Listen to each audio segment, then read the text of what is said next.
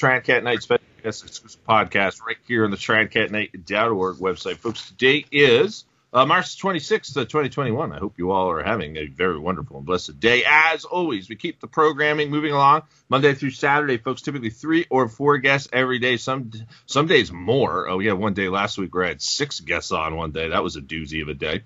Uh, but we've got a prolific uh, lineup of podcasts for you today. We've got John Potash coming on the show a little bit later today. We've got EJ Snyder from Naked and Afraid. I've got to get a premium podcast up. Uh, for those looking for the Misha Johnson podcast, we had to reschedule that one. I'm hoping to get that one done over the next few weeks, but Misha is uh, working on her doctorates in uh, theology, so I'm trying to work around her schedule. And we just couldn't make it happen this morning. So, in any case, we will make it happen over the next few weeks. Now, someone who's been joining us quite regularly also joined us uh, for the most uh, one of the most recent of a pod uh, the um, web conferences, Scared or Prepared, Survive and Thrive. Stefan Verstappen joins us from China Strategies, and today we're going to be talking a little bit about surviving mass psychosis, and uh, we'll probably get our feet wet in regards to uh, providing more parameters for forming uh, communities, which is uh, an area that we, of course, are very much dialed into here at Tradcat Knight. So before we hand it over to Stefan, we have to make mention of our sponsors, PlentyWellness.com. Plenty Wellness is one of the first and highest rated CBD companies in the United States that offer free consultations to educate consumers and have proprietary genetic research to help you get the most from your CBD products. They work directly with a licensed medical do- uh, doctor to thoroughly test each of their products to ensure results in quality. CBD is not uh, marijuana, does not have psychoactive properties. And if you feel this is in your wheelhouse, please do take advantage of it. PlentyWellness.com. Also, prolific Catholic outlet, jacksbury.com, loaded full of information. There's a page where you can add your prayer intentions. Highly encourage you take advantage of that. Seven Sorrows of Mary section with a Father Voigt reflection. That's jacksbury.com, B U R Y.com. We also have a new uh, sponsor this month. Genesis Apparel, which is located in Charlotte, North Carolina. I talked to David on the phone a few weeks or so ago because he's putting together a Tradcat Knight page for those who are looking for uh, some merchandise. Again, I'm not profiting off of this. I'm just trying to help David out actually with his business. And for those who've been asking where they can get some Tradcat Knight uh, merchandise so they can go out and show some support, uh, this is going to be the avenue. I'll get that link to you hopefully over the next week or so. But Genesis Apparel provides wholesale pricing on custom shirts and hoodies starting at $4.50 a shirt, folks. That's ridiculously cheap. Great quality though still. They also provide custom packaging at little no cost to you. Again, the website is genesisapparel.us. Our newest sponsor and our exclusive uh, sponsor for the web conferences going forward the next five is gloryandshine.com. It's a great outlet. Um, they put their passion and love for Jesus Christ and the Universal Church into action by creating uh, natural and supernatural self care products. Um, every item is crafted with deep intention of holding a vision while sharing the gospel through ordinary acts of everyday life. That's gloryandshine.com, folks. I received some complimentary copies from uh, Richard. Richard Gratzinger is the man behind uh, that company, and they truly are fantastic, especially uh, men with beards. He gave me some uh, some some beard uh, items, I, I, guess you would call it. I'm not quite exactly sure how to call it, but they truly are fantastic.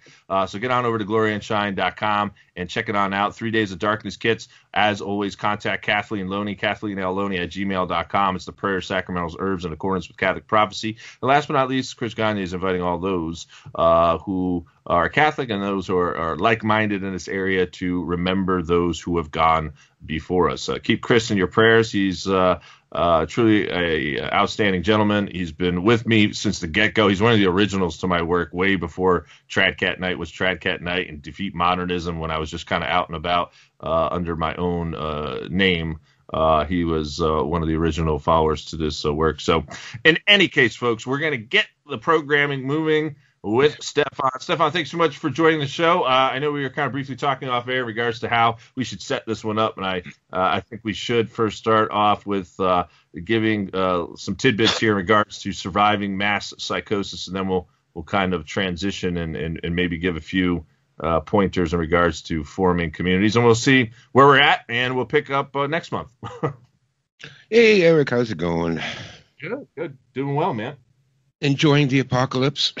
yeah, of course, man. Love it. Eagles get excited for the storm. That's yes. how we say it. Yeah. What's that? What's that? Uh, uh, that saying? The devil says, "You will not survive the storm," and the warrior replies, "I am the storm." That's it. That's the mentality we have to have. Yeah. Yeah. Well, the the first topic I wanted to talk about is a preview of a video script I'm working on now called How to Survive Mass Psychosis. Because, you know, when you talk to people these days, I mean, when you talk to normal people, right. Few and Like- far between, but like I don't even know what to say is normal anymore. Uh, sane people, awake people, intelligent people. When you talk to them, everybody will tell you the same thing: the world has gone crazy. Mhm. And well, we think that's a metaphor that you know you don't like the way things are going, or but no, it's actually a factual statement. The world has literally gone crazy. So I'd like to open up with a short fable, if I may. Mm, okay. Okay, there was once a tiny kingdom that was ruled over by a noble and virtuous king. And all the people in the kingdom were happy and prosperous and enjoyed life. But there was a witch that was envious of the people. And because, as you know, psychopaths hate to see people happy. All right. So the witch devised a scheme. She wanted to destroy the kingdom and she, and she wanted to destroy the happy people. So one night she crept into the village, and in the village there was one well from which everyone drank, and she poisoned the well. And everyone who drank from the well became insane. Well, a couple of days later, everyone had drunk from the well, and everybody in the kingdom was now completely insane, except for the king, who had his own private well in his castle. Then, a few days later, the people of the kingdom started whispering and gossiping amongst each other, saying, The king is insane. Hmm. And how can we let ourselves be ruled by a king that is insane? And soon they marched on the on, on the castle with pitchforks and torches and yelling and screaming and breaking windows and looting, Mhm. saying, "The king is insane. We must depose the king." So the king fi- figured out what had happened and that the witch had poisoned the well. And so late one night, when no one was around, he went to the well and he drank a large cup of water. The next day, the king went insane, and all the people of the kingdom rejoiced, saying, Praise the Lord, the king has become sane again. And that's the story. Now, in this story, let's make one thing clear the witch is communism. The witch is socialism, Marxism, Leninism, communism. And it has poisoned our society to such a degree that our entire society has gone insane. And this has been written about by many philosophers throughout history. Even uh, Friedrich Nietzsche uh, wrote that uh, an insane person is a rarity among a population, but insanity is common among groups, ideologies, and governments. Well, he was right. Uh, so it's rare that you're going to find somebody in, in society that is truly insane. There are people like that. But the true insanity comes from our culture and from our society. And Carl Jung also wrote about it. Um, if I can quote from Carl Jung from his book, The Symbolic Life, he says that when mass psychosis occurs, and he called it um, a, a psychic epidemic, when mass psychosis occurs, the results are devastating. Individuals who make up the infected society become morally and spiritually inferior. They sink unconsciously to an inferior intellectual level. They become more unreasonable, irresponsible, emotional, erratic, and unreliable. And worst of all, they will commit crimes that the individual alone would never commit. But when committed by a group, they stand by and applaud. So we can see that now. Um, The communism that has infected our society has literally driven everyone insane. And so I don't know about you, Eric, but I feel like the king in the story. You know, you're the last sane person on the planet, and everybody around you is pointing their finger saying, Eric's gone insane. Mm-hmm. Steph has gone insane. We have to do something about Eric and Steph because they're obviously insane. Yeah. And this, this, no, but this is the society we're in. This is not a metaphor. This is not just, you know, it's just not, it's not a rant or a bitch fest. Look, these people around us are nuts. Now, what mass psychosis means, psychosis means the inability to perceive reality. So, what we see now is, you know, the communists and the liberal, liberals and the leftists, um, they have no concept of reality. It's obvious. You you cannot reason with them. You cannot talk to them. You cannot offer them uh, logical rational argument. They're incapable of that because they cannot perceive reality. And when you cannot perceive reality, that is the ultimate diagnosis of madness. So now we're in a bad situation, Eric. You know, the world is going down the tubes. We need to form communities to survive, which we'll talk about in a minute. But how can we form communities of crazy people? You can't. It's like herding cats. I always tell people I'm I'm training my cats to pull a dog sled. so far, it's not working out too well. Right, right, right, right, right. Yeah, no, this is uh, this is interesting because uh, I've been using a quote from one of the fathers in the Catholic Church, um, and I call it the inversion. I mean, like everything is just flip flopped uh, inside out, so to speak, and lies uh, lies are now being labeled as truth. Truth is, uh, you know, now being called lies. If you go out into the, the mainstream world and you're not wearing a, a mask, you're looked at like you're nuts. Uh, if when you talk about vaccines, still, I would I would argue the vast majority are still thinking that that's uh, a good idea. Um, but St. Anthony the Great in the Catholic Church had this to say in regards to it, like a sign at the end. He said, A time is coming when men will go mad. And when they see someone who is not mad, they will attack him, saying, You are mad and you are not like us. Uh, so it's very similar to what uh, the same sentiments that you are expressing here. And I, I couldn't have said it any better. Uh, and people just people have checked out of reality. Like maybe we could talk about that from a philosophical standpoint, Stefan, in regards to why people have uh, checked out. You know, many people going to pills, to porn, to alcohol. How about even like video games or like virtual reality, sort of like checking out of like the real world for a few hours to play some video games. I mean, people just don't want to deal with reality these days. No, exactly and uh, all those are symptoms of a mad society. You know, uh, all of it: the, the, suicide rate, the addiction rate, the overdose rate, the alcoholic rate, the, and then the violence too. Mm-hmm. Well, here's the answer to that. Carl Jung, again, when in describing what he called uh, a psychic a, a psychic epidemic, or what we call mass psychosis, said that you need two prerequisites for mass psychosis to take place. The first prerequisite is that the majority of people have to be ignorant. Now, we have seen the communists march through the institution for the last 60 years, and I would argue longer than that, that has created an educational system that produces idiots.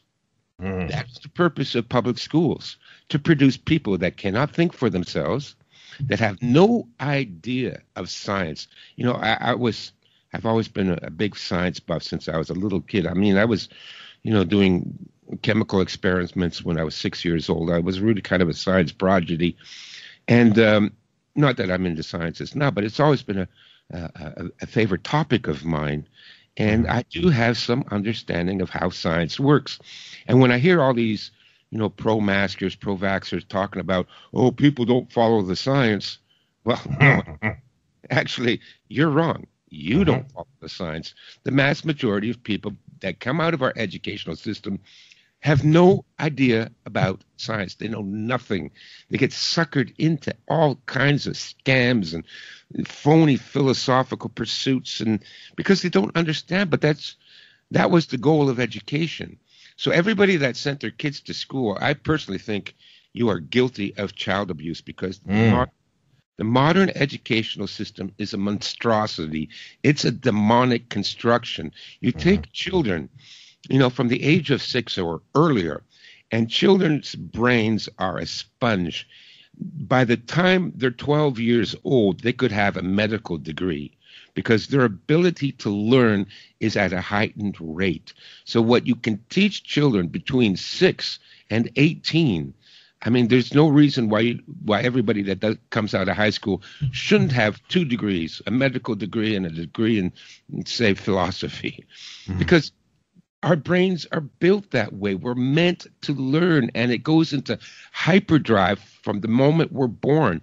We learn, we learn, we learn. The brain is very plastic at that stage in our development, and we are meant to absorb as much knowledge. Now, what we do then is we take these hungry sponge brains and we stick them in a box where they are not given any real information or any stimulus to learn. Mm-hmm. mm-hmm. And so now you know, you, you feed them this nonsense for eight years. By the time they're 18, the brain starts to solidify more. It becomes harder to learn things. But the fact is that it's already been it's already been messed with. The brain, it's like you, you, reduced the RAM on a computer. You know, you took out a hard drive and you took out your computer and all which is got is an operating system and it can't do anything on its own. This is what the educational system does to us.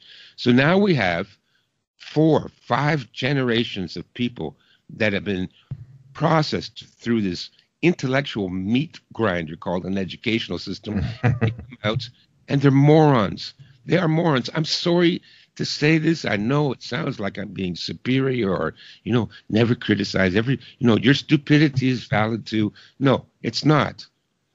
your stupidity is a threat to mankind. Mm. It's a threat to all humanity, which is what Carl Jung says that mass psychosis is the greatest threat to man, greater than natural disasters, greater than pandemics, greater than wars. Mm.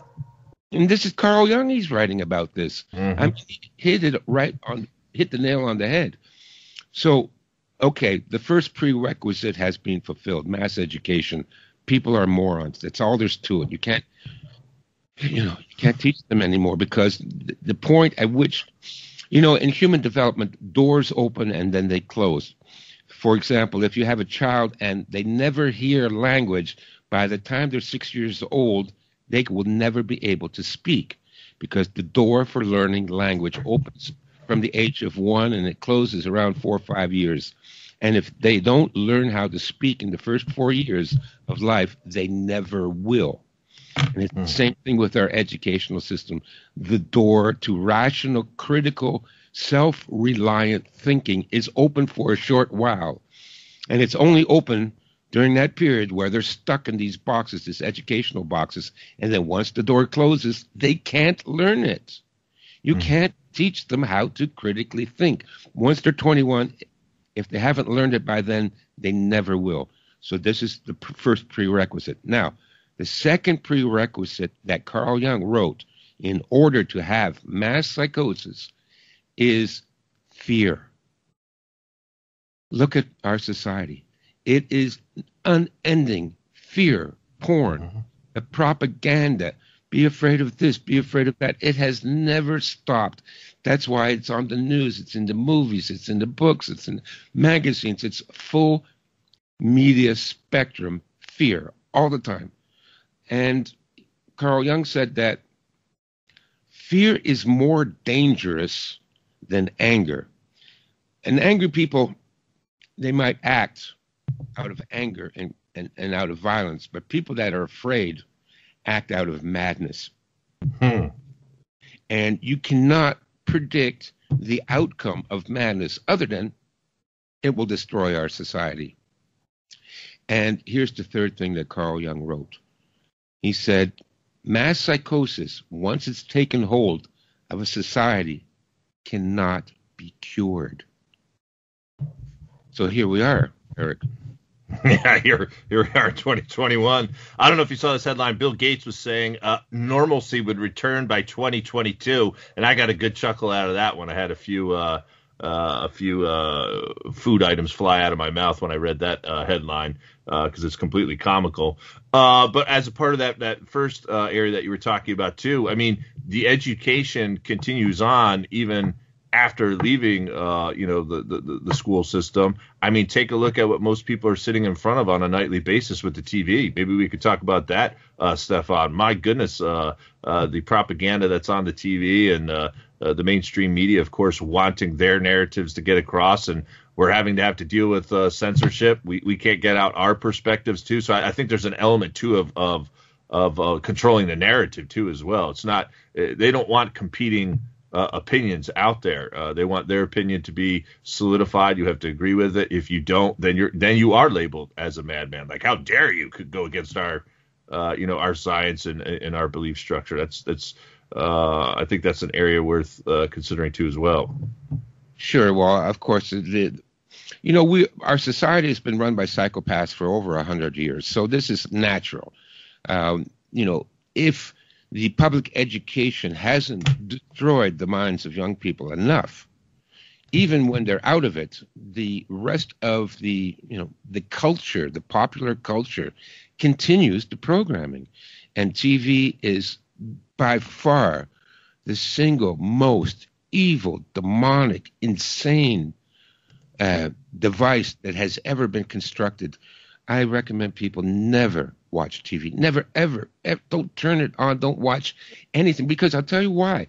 You know, I years ago I read a book called um, Methods of Persuasion by uh, a professor something Brown, I believe it was, and well, it talked about propaganda. You know how propaganda works and and, and uh, how to inflict it on people. And when so I have an awareness of propaganda. I get it when when people are bullshitting me. I know it. I sense it. I smell it. And when I turn on the TV, the stench is overwhelming. It's in everything. The propaganda is in the TV shows. It's in the comedies. It's in the it's in the stand up uh, late night TV. It's in the awards shows. It's in the movies. It's in the television series. It's in the commercials. Even the commercials have this propaganda. And the danger of TV is we know that the flicker rate of the TV screen induces people to go into what's known as a theta wavelength. Um, our brains function at different frequencies, and the theta frequency is one in which very similar to being under hypnosis. Yeah. So even if you do have a critical mind, and you're able to, you know, for the most part, filter out the propaganda through your rational thinking. The fact is that you watch it for long enough, you go into the theta state, and even though you can filter out some of the propaganda, a lot of it gets through and it beds itself in your subconscious. And I think this is the cause of the uh, cognitive dissonance, mm. where, whereby I see people that I think are awake, right? I see people that know 9 11 was an inside job and, you know, know about all the false flags and know that the science behind our Lord and Savior, Bill Gates, is flawed. I mean, the guy thinks he's God, for Christ's sakes. I mean, talk about a case study in delusional megamania. Oh, my God. Anyways, that's, but the cognitive dissonance occurs when that propaganda has seeped through your conscious barrier and embedded itself. So I see people that I think are awake. They know about the, you know, conspiracy theories. They know the banks rule the world. They know about the psychopaths. They know everything. And then they go out and get the vaccine. right, right, right. Now I had a few of my. I was, I've been mentioning this over the past uh, week or so. I had a few of my guests actually get it, unfortunately, who I would consider to be pretty smart people. Danielle DiMartino, one of the the leading uh, economists, she's featured like on Fox News or what. I mean, she's a very smart lady. She's she's written a book, and the Fed. She's left the Fed. She's been trying to expose uh, the Fed, but she went out and got it. And I got I heard from her PR person earlier this uh, earlier this week. Was it earlier this week? No, it was earlier last week. It might have been two weeks or so ago. And said, "Listen, Daniel just got the vaccine, and she's like really not doing well." And I was like, "Oh man!" Like my heart just sunk. You know what I mean? So it's you know it's sucking people in. Uh, you know, it's crazy uh, how group dynamics works, how social media works, how uh, not well not only TV too, it's social media too. That's Oh, kind of like that's like the new thing, right? Yeah, no, social media, TV, same thing. You know, it's uh, well, we're we're herd animals, and because we're herd animals, we get we got to the top of the food chain because you know no single human being could take down a woolly mammoth or or saber toothed tiger. But when we became a herd, well, first we became tribes, and then we became herds. We were able to dominate the planet. So it's a good thing, but the bad thing of it is the herd can be led off a cliff, and that's what's happened. And so we use, you know, group pressure to influence people to jump off the cliff now. And that's why you have this cognitive dissonance. Yes, we can be rational, independent thinkers, but on the other hand, you know, the constant, endless propaganda. I, you know, I'm, I'm so shocked Mhm. at how much they are, uh, uh, you know, trying to manipulate us. It's everywhere. I, I yesterday I, I I rented a car to drive into the city to do some errands, and there's giant signs on the highway saying "Stay at home, wash your hands." You know, like, I mean, Yeah. it's so Orwellian. It's not even funny. Everywhere you go, there's a sign: "Get the vi- uh, get the vaccine." Stay safe, social distance. I mean, you can't even go for a drive in your car without being bombarded with this propaganda. Mhm. And to be honest with you, most people don't have enough of a filter to keep it all out. That's why I recommend just avoid exposure to it. Avoid exposure to TV and radio and magazines and movies. I mean, just turn it all off because even if you think you can, you know, it's it, it's like, well, you know, I can take some heroin. I won't become an addict. It won't bother me. No, no, no. Stay away from heroin right. altogether. Like not even just a little bit. You can't even take a little bit of the stuff because it would permanently destroy your life. And it's the same thing with media and TV and all that. You know, it's hard to turn it all off. And God, all, all, everybody with a smartphone, you know, you're done. Yeah. You- no, what's that expression? You uh, give an inch and they'll take a yard. So uh, if there is no pushback now, can you imagine what society is going to look like uh, a year or two from now if they keep shoving this stuff down our throats? One of the latest headlines here, I'm not sure if you saw this here in the States, uh, Rutgers, and I, I grew up in New Jersey, so I'm well aware of uh, Rutgers University. They're now requiring proof of the vaccine shot in order to even enroll in school. So uh, I reported upon this last year too. It was University of Tennessee going in that direction. So uh, they're they're going to try to funnel us out. We know it's going to get worse and worse. I mean, uh, probably over the next few years, you won't even be able to go into Walmart without proof of a vaccine. So I do think that our window of opportunity for prepping is uh, getting more narrow, uh, Stefan. But um, even on like the church side of things, and I, I've been arguing, and I take a lot of heat in the Catholic world because people have been following the Vatican. Um, in uh, zombie-like fashion. Uh, they're following along in, in false obedience. You just recently had Francis coming out indicating his support for the New World Order, and where where most Catholics, you know, not even raising their voice at that. And I mean, it's just it's craziness everywhere. You, you just can't avoid the craziness. And uh, could you provide, if you could, maybe some practical measures to co- combating it? I mean, like how when you see someone that's so just utterly nuts um like how how do you i mean what do you do in that conversation you just kind of walk away from it do you just do you try to provide an alternative perspective and say okay like well at least look into that like how do you uh, approach some of these people because I, I find you really can't talk you can't make much much sense with these people uh over the years um what do you what do you think uh, Stefan? Well, uh, I, I recommend you use the same uh, strategy as if you were walking through the forest and suddenly there was a grizzly bear in the path. You know, you, you stop, you slowly back away. right right right right right Once you've got right. enough distance, you run and you make sure you don't run into that bear again. Listen, there is no dealing with them. It, again, mass psychosis it means that they are actually insane. You cannot say or reason or provide information or facts or uh, a reasonable argument. You can't. This will have no effect on them. They are insane. Listen, they are insane. How many times do I have to say that? right No, like it, it, it would be the, the same thing like you go to the, the local asylum and you find some guy that thinks he's Napoleon and you tell him, listen, you know, You can't be Napoleon because uh, Napoleon died, you know, 150 years ago. What's their response going to be? How dare you? I am Napoleon. How can you not see that I'm a Napoleon? You speak lies. You know, listen, this is what you're going to get with these people. You cannot reason with them. And that's why to survive mass psychosis, um, yes, let's follow the advice of Fauci. Let's self isolate. You have to stay away from them. right. Now this, but this becomes problematic, and it says, and actually, I really do agree with you. But remember, going back to our, our web conference, we were talking about this uh, in regards to forming groups, and perhaps we can parlay uh, this into the the next step or next area we wanted to go into in regards to some uh, practical measures and guides to forming communities. Where in my own locale, I mean, maybe if I could find a half a dozen people that that think sort of like me, that I'd be like, okay, like if I really start getting down to the nuts and bolts, could I trust that guy?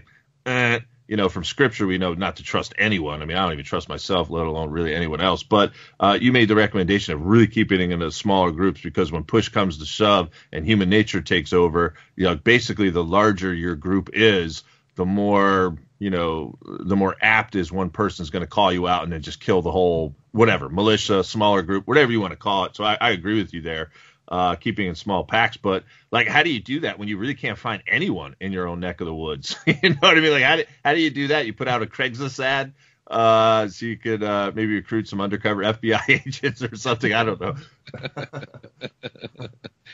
no, well, this is this is the catch twenty two. You know, when I started writing the uh, uh, my my book on creating communities, it was because of my earlier article about the collapse of our coming civilization according to the theory of historical cycles. We're in the collapse stage. And then I thought to research history and find out what did people do in the past when Rome collapsed? What did the surviving Romans do when the Chinese dynasties collapsed? What did the Chinese do to survive the era of chaos?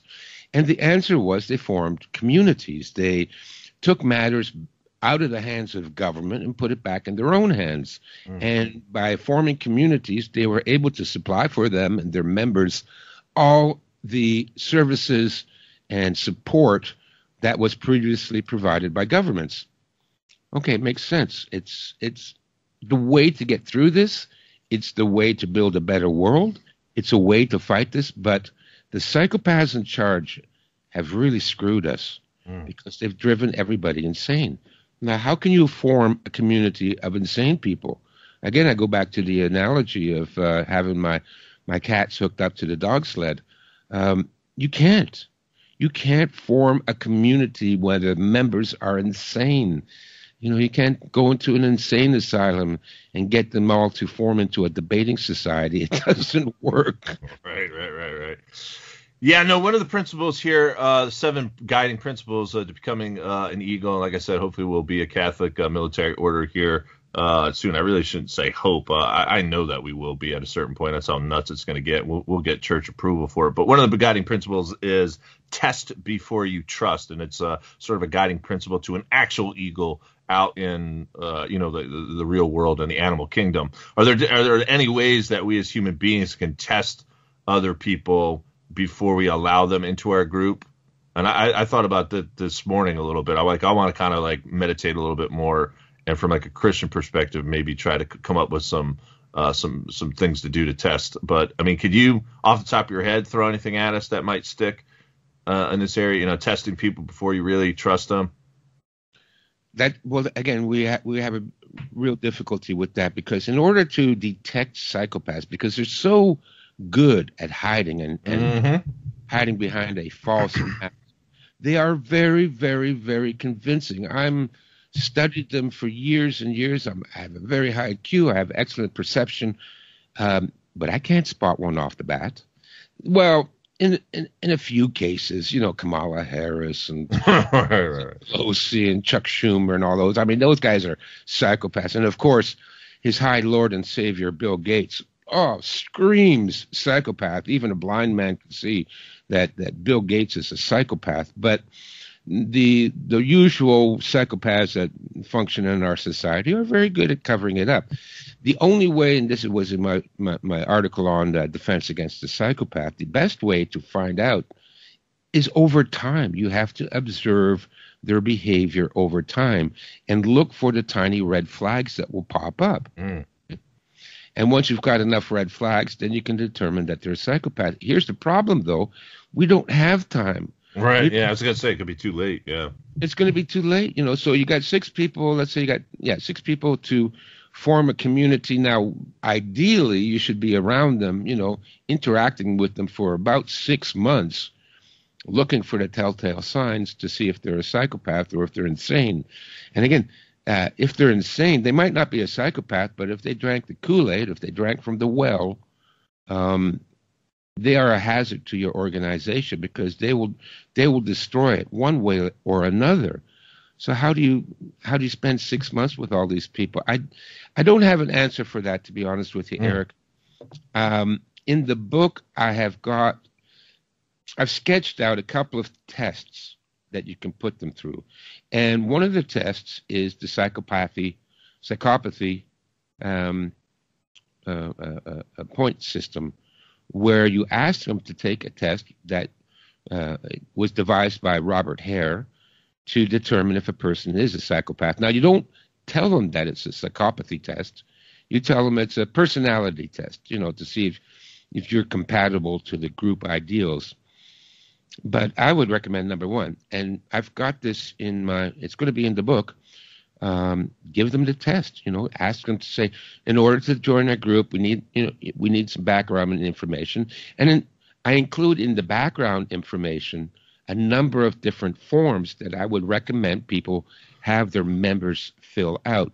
One of the forms is like a medical form, like do you have a history of uh, heart disease or diabetes or uh, panic attacks and things like that, so that as a group we are prepared to deal with it and offer you, you know, uh, uh, remedies and solutions, and you know that we can help you with these medical problems if you join our group. For example, I don't want some guy to join my uh, uh, my outward bound group that has a heart disease, and then we're 50 miles in the bush and he has a heart attack. Mm. I need to know that ahead of time so we can prepare and, and, and be able to take care of those situations. So one of the things I recommend is having members fill out these forms. One is a medical form. Another one is a skills and knowledge form. Like, what are you good at? You know, give me the top five things that you're really good at. Cooking, Making macaroni and cheese. Macaroni, but, but that that's a valuable skill. You know, you can use that. You know, so long as they have something, but it, it will give you an idea of what they're good at. Um, you know, torturing kittens, no, not a great skill. Right, right, right. right. and then the third test I recommend is giving them the the psychopathic checklist, whereby uh, you know. So again, none of these are foolproof. Mm-hmm but it will give you an opportunity to see, wow, this guy scored really high on the test. You know, and of course they don't know they're taking that test, and a lot of the psychopaths will know how to how to fake those answers. They'll smell, sure. mm-hmm. right? They'll know how to fake it, but they might not be able to fake all the answers, and that's where, you know, if the clocks come up on the psychopath checklist. Uh, maybe you don't want them in your group. So those are the, you know, but it's it's a really it's a troublesome thing. You see, the way our ancestors were able to overcome this is because they grew up in the same town, they went to the same schools, they knew the families, they knew their neighbors, they knew their neighbors' grandparents, they knew all the people in the area, they lived with them, they you know, they were spent a lot of time with each other and they got to know each other. So it was possible when the society collapsed for them to form a community because they already knew each other. They've lived side by side for dozens and dozens of years. Our society, because the, the communists are so excellent at destroying civilization, they have ensured that we don't know anybody. I don't know who my neighbors are. When I was a kid, everybody knew everybody. Mm. You know, we knew all the neighbors. We mm-hmm. were at their house. You know, uh, nobody ever locked the door. So if you ever lost or scared or got injured, you fell down, you hurt your knee, you'd knock on, you know, the next door neighbor. They would, you know, the mother would always be home. She'd bring out the first aid kit, fix up your knee for you, you know. Nowadays, I don't know anybody. I don't know my neighbors. I don't know my community. I don't know anyone around me. So how can I trust them? the pandemic of uh, paranoia, right? With these one eight hundred snitches and snoops hotlines, uh, people uh, looking at their neighbor like, you know, who you know who are those people? Uh, I mean, it even happens here. We've got pretty, I'd say, pretty strong Christian community up here, but I, I have noticed that over the past year, even ever since uh, COVID, uh, there's not there's not as much interaction. Um, and, you know, it'd be more like barbecues you'd see going on, more people, you know, exchanging gifts or apple pie. Like I don't I don't see much of that going on uh, anymore. You know what I mean? It's it's really uh, it's really taking its effect here. But I'm right there with you, man. This is uh it's crazy times, crazy times, crazy people, and this is why we argue from the from the Christian standpoint that the only way that society can lose the psychos is through divine intervention. I, I, there's nothing. All we could do is survive the Antichrist Hunger Games. I argue, uh, kind of like that movie Red Dawn, rolling in smaller packs, uh, and then just trying to get through this. But there's no way that we're, you know, we as a, a humanity are going to defeat them. It's just like it's over. You know what I mean? It's like yeah. there's no way we could get it back. Well, so. again, and that paranoia, that's part of the Communist Manifesto. This is what happens in communist countries. Everybody's an informant. Everybody's paranoid. Everybody's snitching. So this is the problem, you know, and this this pandemic is an excuse to implement this communist paranoia. And uh, you know, the key lesson from the movie Red Dawn was, yeah, they had a small group, but guess what? They were betrayed by one of their own members. Remember? Mm-hmm. Mm-hmm. Yeah, very similar. Yeah, that story with uh, Jesus and Judas. Yeah, that always happens like that. Even even the movie uh, Donnie Brasco was on the other day, right? That FBI agent had to acclimate himself into the mob, and the mob was totally shocked uh, that Donnie was, uh, you know, an inside uh, an inside guy from like the FBI or whatnot. I mean, it's like you just never know. Uh, I guess so. Um, yeah, I don't know, Stefan. Very very, very interesting conversation today. We only got a few minutes left, and perhaps we could pick back up on this uh, next month. Uh, some more guides to forming uh, communities, uh, the different areas uh, in regards to tactics. And uh, I know we've already discussed code words before several times, but maybe we get into some other areas. But before we let you go, we got to get into some parting words, some shameless self promotion time, Stefan, and we'll, we'll get you scheduled for next month too as well. Okay, Eric. So all my stuff, more or less, is on my website www.chinastrategies.com. And um, the end of the month, I'm going to have to raise the price on my survival library. This this COVID thing has uh, devastated me financially, as it has many people, and I can no longer offer it at the extremely low rate. Now, the survival library is all my books in PDF plus an additional 280 plus books on all facets of survival and homesteading and so on. Uh, I know other websites sell a collection like that, but they they charge 150 bucks for it. I've been charging forty dollars for it, but it's got to go up. I'm going to raise it to fifty dollars at the end of the month. So, okay. the survival library, get it now at, at the reduced rate because next month I got to raise it because I I can't survive on what I'm making anymore. You know. Mm.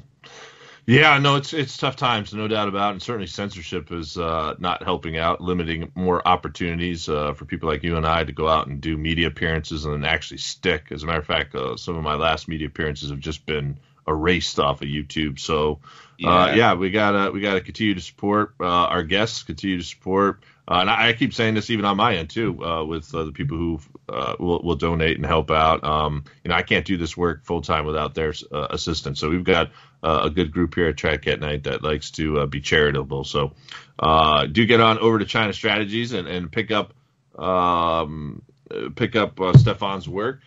Stefan, anything else before we let you go? Um, also, I'm doing consulting now. It's it's really starting to pick up. So if you want to talk to somebody that gets it, you know, and even if you don't want advice on, because I'm offering it on preparedness consulting, but uh, actually half of my uh, clients just want to talk to somebody that's normal. So right, yeah, like therapy. well, you know, it's not, you know, I'm I'm not doing a life coach or anything like that. I hate that that whole concept of life coaching. Right, right, right. But um, you know, we're also separated and isolated, and we mm-hmm. think we're the crazy ones because the whole world's gone crazy and they're all drank from the well. But listen, if you want to talk to somebody that gets you and understands where you're coming from, and just to make you feel better, uh, mm-hmm. go go to my website. It's under preparedness consulting, but whatever you want to talk about, we'll talk about. Yeah, good stuff, buddy. Appreciate the time. Uh, hang off air here. We get you scheduled for next month. folks, in conclusion here, don't forget about the Tradcat Knight Marie Lee Henny movie on Vimeo, vimeo.com. Type in Three Days of Dark. Just check it on out. Don't forget about any of our past web conferences. You now can pick up all seven of them for a $25 gift donation. Don't forget to search Tradcat Knight across all social media. I think I'm on most of them now. I don't know. Trying to keep up with them all. And uh, don't forget there are gift subscriptions available to Tradcat Knight. So I challenge everyone. We know one person out there that's sort of on the fence, who's sort of breaking free from the the the, the, the zombie like state that the world has fallen into. Uh, get them a gift subscription. Have them check out Tradcat Knight for a month, and uh, hopefully they'll join us for the long haul. And we now have to get ready for John Potash, who's an author and uh, we're going to be breaking down uh, current events and a few other things he wants to talk about. But folks, until next time, stay safe and God bless.